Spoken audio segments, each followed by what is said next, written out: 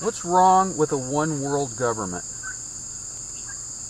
Is there not to be one shepherd and one fold in one world or in the earth?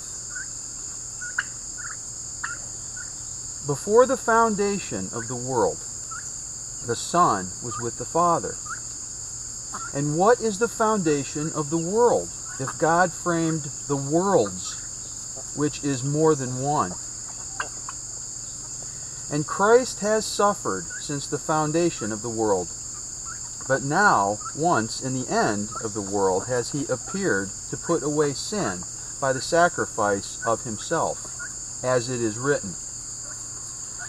And so has he appeared. And now is the end. Paul once wrote, According to the grace of God, which is given unto me as a wise master builder, I have laid the foundation, and another buildeth thereon. But let every man take heed how he buildeth thereupon.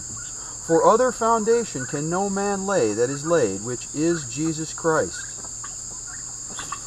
You see, Master Mason built another foundation, and his builders, who rejected the living stone, have built their own individual worlds of iniquity that God has framed.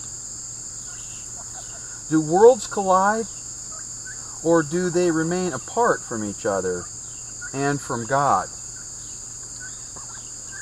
Whosoever loves a world that another built thereon with strange foundation, the love of God is not in him or her.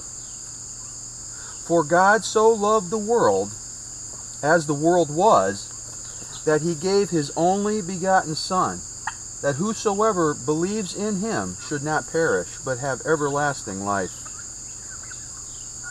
And so does he appear in the end of the world, to make an end of all iniquity, and to destroy ungodly sinners, and make a way for his children who believe in him. I am Michael, the angel of the Lord, the prince of my king, and I stand for his children. If any man will not hear this prophet, he shall be destroyed in his own little world of iniquity.